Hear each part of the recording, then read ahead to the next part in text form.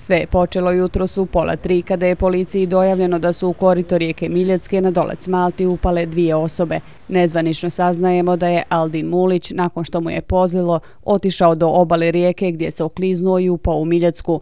Irhan Fočo, konobar iz obližnje kafića, odmah je za njim skočio u vodu. Obojica su nestala u rijeci Miljackoj i e, u jednom momentu se učinilo da je mladić koji je izašao da ga spasi uspio da izvuče tog drugog, međutim e, bezuspješno ponovo su pali u rijeku. E, mi smo dobili dojavu od kantonalne uprave civilne zaštite, ekipe federalne uprave civilne zaštite, timovi su izašli na teren sa dronovima, potražnim psima, timom za spašavanje na vodi i pod vodom, ironioci su tu, potraga traje. U akciju spašavanja po dojavi su se odmah uključile brojne ekipe, među kojima i policajci, vatrogasci, pripadnici civilne zaštite i gorske službe spašavanja. Spasioci njih više od stotinu detaljno pretražuju svaki dio rijeke, a raspoređeni su od mjesta na kojem su mladići upali pa sve do visokog. Po nekim izračunima e, dokle bi voda mogla odnijeti tijela, ljudi posmatraju rijeku, posmatramo role, postavili smo ljude znači na svakoj roli da vidimo da nisu ljudi u rolama.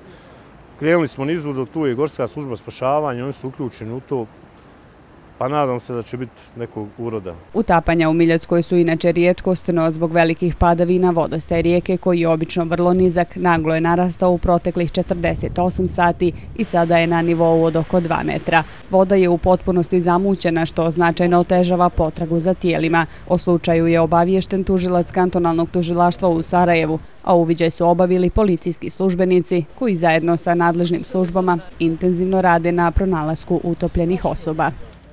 Yes.